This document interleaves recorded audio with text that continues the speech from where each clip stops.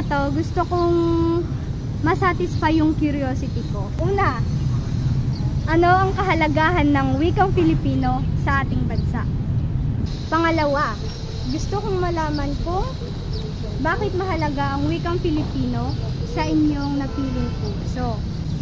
Pangatlong tanong, bilang mag-aaral, paano ninyo mapagyayaman, mapagyayabong, at mapahalagahan ang wikang, syempre, Filipino? Kuya, pwede po bang mag-interview kayo? Um, tanong ko lang po kung ano ang kahalagahan ng wikang Filipino sa ating bansa.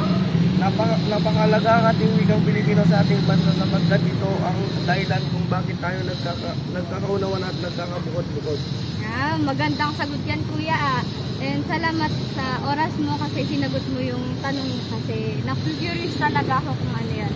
And gusto ko lang ulit magtanong sa ibang ano, kung ano ba yung sagot nila. Tara nga. Sige. Hindi yan, pwede sa abala. Oh, sige naman po, madam.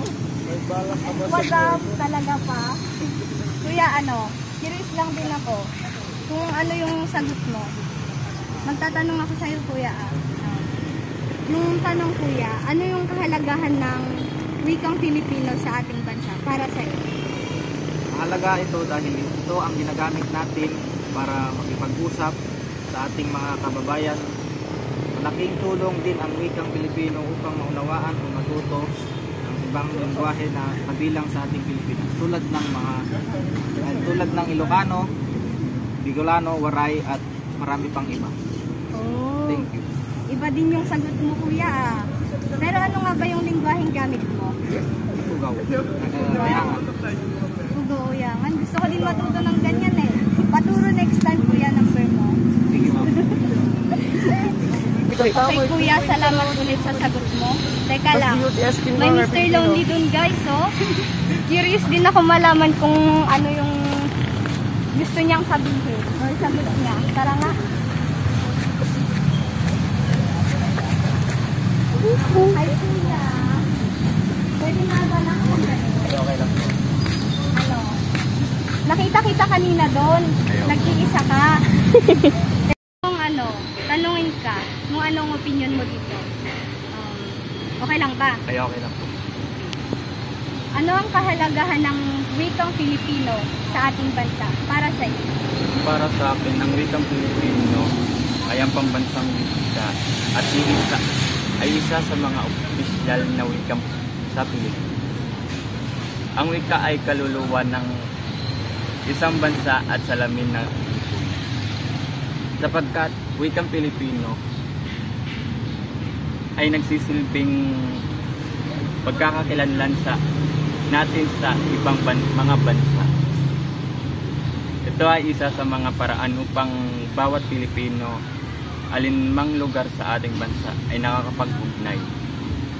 Ito ay simbolo ng ating kultura at pagkaka- na dapat nating ipagmalaki at respetuhin.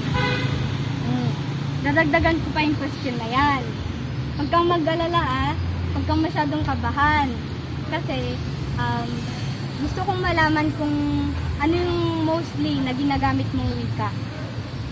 Siyempre naman, sa, para sa akin, wikang Pilipino talaga kasi dito tayo nasanay at dito tayo lumaki. Pero tagasan ka kuya?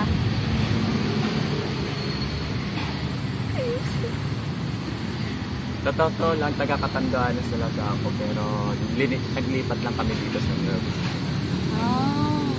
So, malayo pa pinanggalingan ni kuya. Ayaw po. Ako din eh, malayo. Ah, sige kuya, salamat sa oras Ayaw. mo. Okay guys, maghanap pa tayo. San pa? Tigak lang ilas. Lang. Ayun, may Miss Lonely. May kapares na si Mr. Lonely. Ayy! Hi, Miss. Hello po. Pwedeng paabala ulit? Sige po, ano po yun? Ano, gusto kong tanong din sa'yo. Same questions kasi may mga natanong din ako. Makikiyuko muna ako, pagod na ako eh. Sige po. Um, gusto kong tanungin sa'yo, kung ano ba yung kahalagahan ng wikang Filipino para sa inyo dito sa ating bansa. Para sa akin, ang wikang Filipino ay isang mahalagang bahagi ng simbolo at pagkakakilanlan ng ating bansa. Nilalaman nito ang diwa ng Pilipino at kumakatawan sa natatanging pamana ng kultura ng ating bansa. Ang ating wika isang makapangyarihang simbolo ng ating kultura, tradisyon at paniniwala na lahat ay mahalaga sa pagbuo ng ating bansa. Yun po ang aking sagot. Oh, magandang tanong, ay magandang sagot yan so far ah. Hmm. Pero ate, curious lang din ako. Lagi ako naku-curious eh. Pati yung mga ibang natanong ko kanina. Taga saan ka? Taga Santa Fe po ako.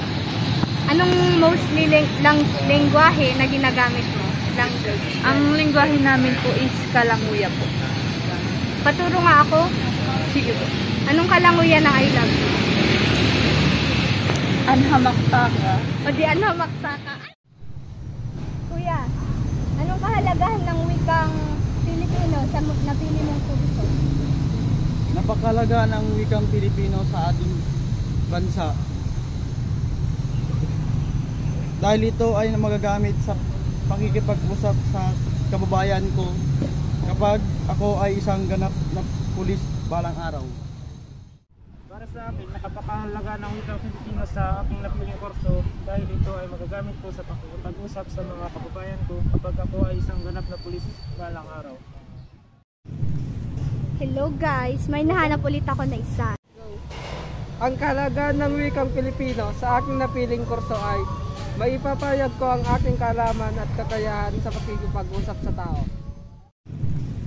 Hello guys, may nahanap ulit ako na isa. Tara. Kuya, pwede pa ba ako? Dami ko kasing inabala kanina. Nakaupo. okay. Pwede, la, pwede mo pa. Pwede din. Tara kuya. Siyempre. Dito tayo kuya. Yan. Gusto ko din, gusto ko na din umupo. Ano? Gusto kong tanungin ka kung anong napili mong kurso. Yun muna. BS Cream. So halos pala ng interview ko, BS Cream. So ngayon, gustong tanungin ka, anong kahalagahan ng wikang Filipino na napili mong kurso? Ang kahalagaan ng wikang Pilipino sa ating napiling kurso dahil ito ay magagamit ko sa pakikipag-usap sa mga kababayan ko pag ako ay isang ganap na pulis balang araw. Oh. Mainly, ano yung gamit mo na language na yun? Tagalog. Tagalog din. Pero may iba kang alam na language. Pero Ano yung mga language natin? Ano alam mo niya, kayangan, wali, Oh, ang dami ah. Paturo mamaya. Pwede lang? Salamat sa oras mo and thank you. Ka? Na yung last interviewin natin for question number 2. Dapat kami lagi babasa. Kuya, babala. Pwede magtanong? Okay lang? Okay. Uh, mak pausap kuya, makikiupo ako. So anyways, gusto kong tanungin ka kung ano ang kahalagahan ng wikang Filipino sa napili mong kurso? Mahalaga ang wikang Pilipino sa kriminalohiya sapagkat kailangan ang magaling na kasanayan sa komunikasyon. Halimbawa, paggamit ko ang wikang Pilipino sa pagtatawag ng isang tao ukol sa nagawa niyang krimen at pagkikipagtalastasan sa aking mga kaklase, mga katrabaho kapatao upang higit na mapayaman ang wikang Pilipino. Ang wikang Pilipino ay isang mahalagang paksa para sa mga mag-aaral na gustong paunlarin ang kanilang kritikal na pag-iisip at makikita ang mundo sa isang mas maliwanag na hinaharap. Okay, salamat sa pagsagot sa tanong ko, kuya. Oh, nakakapagod. Anyways, last question naman na to.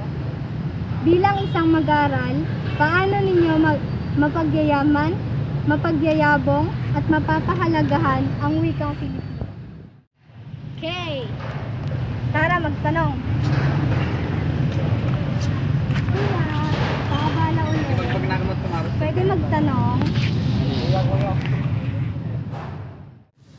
Bilang nag-aral, paano ninyo mapagyayaman, mapayayabong, at mapapahalagahan ang wikang Pilipino? Pagmamalaki ko ito sa kahit na sino, lalo na sa mga dayuhan. Kahit na nakatira sila sa ibang bansa, huwag na huwag kalimutang gamitin upang hindi natin malimutan. Hmm, Maganda yung sagot ni Kuya. And that would be our last question pero may dalawa pa. Nakatumpak tayo, dalawa. Sakto, last question na. Kuya, paabala ah. Di okay lang tatayo na ako. Ano, gusto kong magtanong sa inyo. Bilang mag-aaral, paano ninyo mapagyayaman, mapagyayabong, at mapahalagahan ang ating wikang Pilipino? Ang mga kalamang natamo ko tungkol sa wikang Filipino ay lubhang pakinapkinabang sa aking kaya't patukoy ko itong gagamitin upang mamuhay ng maayos.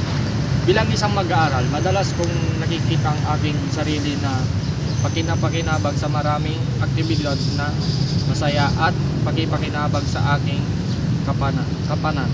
Sa buwan ng pag-aaral ng wika, maraming paraan para umawit ng wikang Filipino at may pakita ko ang aking mga paborito sa pamamagitan ng paggamit ng wikang Pilipino sa social media o internet.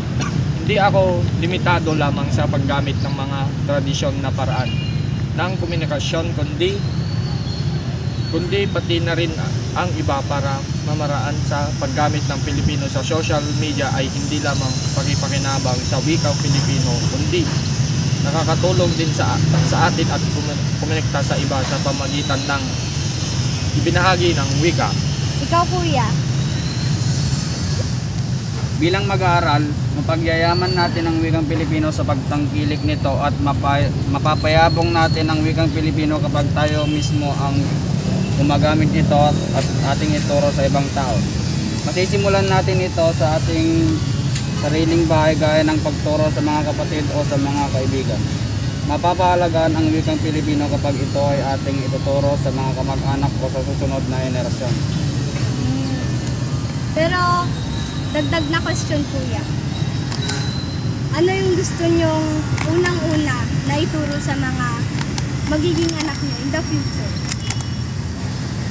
Anong language yung una nyong ituturo? Pilipino. Tagalog. Tagalog, Ilocano, Pero may iba pa kayong alam na language? English.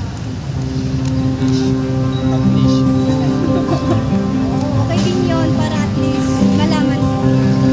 Thank you ulit. So far, so good. Madami akong natanong. Madami din akong natutunan mula sa mga interview ko. And for now, bye and sana may natutunan din kayo.